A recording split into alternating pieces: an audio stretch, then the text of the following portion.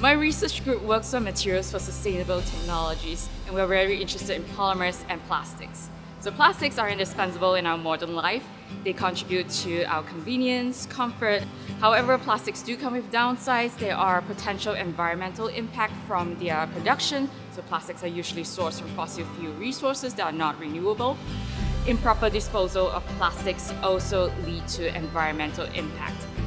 And so what we would like to do is to turn to more renewable feedstock, such as biopolymers in manufacturing plastics.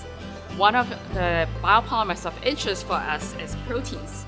Proteins are made up of amino acids that are linked to one another, so they are renewable because they come from biomass, they are inherently biodegradable, and they are very interesting to us because they can interact with themselves, with other proteins, and fold into very interesting structures.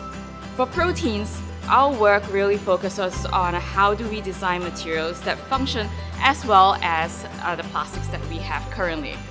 Proteins are challenging to work with because they are brittle, so they are not very mechanically robust. In addition to that, they are also very difficult to process.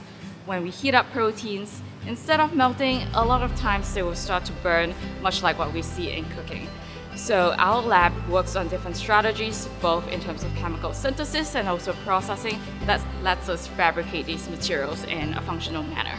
Proteins have historically been very interesting materials and have been used in materials manufacture. Some examples that are still used today include wool and silk.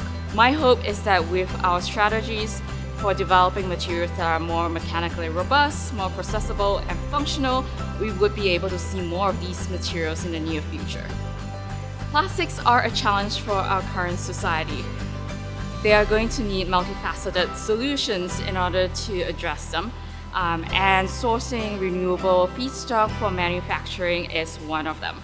There will be also other solutions that will be required.